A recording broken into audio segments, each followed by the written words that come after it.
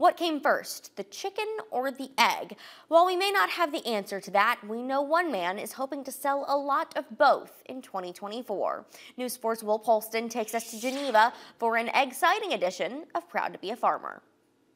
Caleb Bryant of Chick-A-Dee Hatchery is working to become the next big name in wiregrass farming. Like other farmers, he was raised by ag workers. I grew up on the farm, my grandparents' farm down in Florida and it kind of just that's just where I've been. I, I like it and it makes me happy. Due to prior experience, Bryant was able to start at a young age. He sold his first chicks at 20 years old. Now, at 23, he's expanded to selling eggs in many ways, like farm fresh and pickled.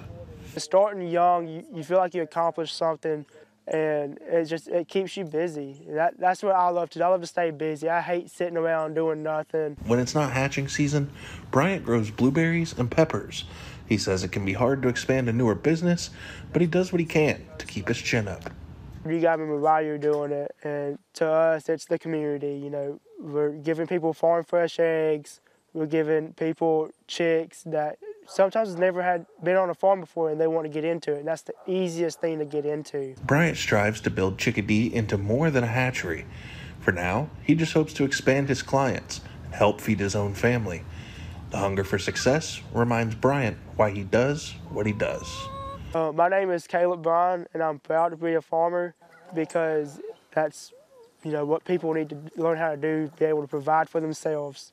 You'll feel better about yourself on that. In Geneva, Will Polston for your hometown news leader.